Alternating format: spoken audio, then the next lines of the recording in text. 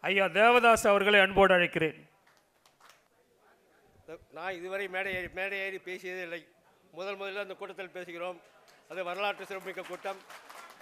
மக்கள் தலை மக்கள் தலைவர் புகழஞ்சலில் நான் பேசுகின்ற வாய்ப்பு அது- நான் பெருமைப்படுகிறேன். பல தடவை என்னை பேச சொல்வார்கள் பேச மாட்டேன். இன்று மக்கள் தலைவரால் பலனடைந்தவர்கள் கோடீஸ்வரர் ஆனவர்கள் மந்திரி ஆனவர்கள் மந்திரி இருப்பவர்கள் இவர் மக்கள் இறந்ததை பற்றி கவலையே படவில்லை.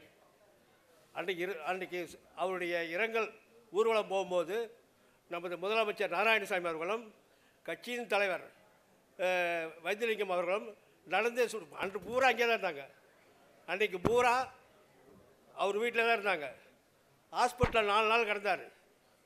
தலைவர் நாராயணசாமி தான் வந்து ஹாஸ்பிட்டல் போயின்னு வந்துன்னு போயின்னு வந்து இருந்தார் ஆனால் அவரால் கோடீஸ்வரர்கள் அவரால் மந்திரியானவர்கள் மந்திரியாக இருப்பவர்கள் எட்டியே பார்க்கவில்லை.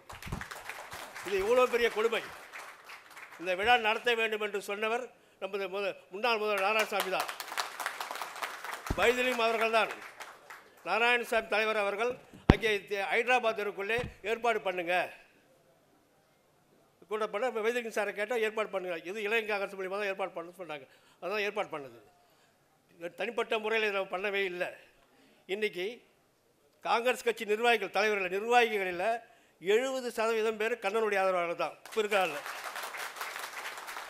இது இது இந்த இந்த இந்த நிலைமை இப்போ இருக்கிற மந்திரிக்கு தெரியும்.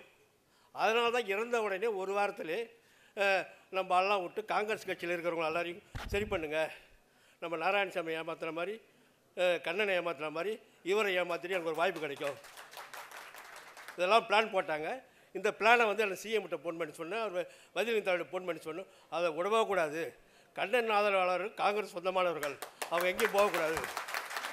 உடனே கூட்டத்தை ஏற்பாடு பண்ணணும்னு கூறினார். அவருடைய அறிவுறுத்தலின் பேரில் இளைஞர் காங்கிரஸ் மூலியமாக அந்த கூட்டத்தை ஏற்பாடு பண்ணி நடத்தி கொண்டிருக்கும் சிறப்பாக நடத்தி கொள்ளும். இதுவரையில் புழஞ்சலி என்று புதுச்சேரியிலே எந்த அகில இந்திய தலைவருக்கோ மாநில தலைவருக்கோ இதேமாரி பிரம்மாண்டமாக பண்ணியதே இல்லை. இதை இது இந்த கூட்டத்தை நடத்த சொல்லி ஊக்குவித்த நாராயணசாமி தலைவர் அவர்களுக்கும் வைத்திலிங்கம் தலைவர்களுக்கும் என் நன்றியை தெரிவித்துக் கொள்கிறேன். அடுத்தபடியாக சட்டமன்ற கட்சி தலைவர் வைத்தியநாதன் அவர் பேசுவார்கள்.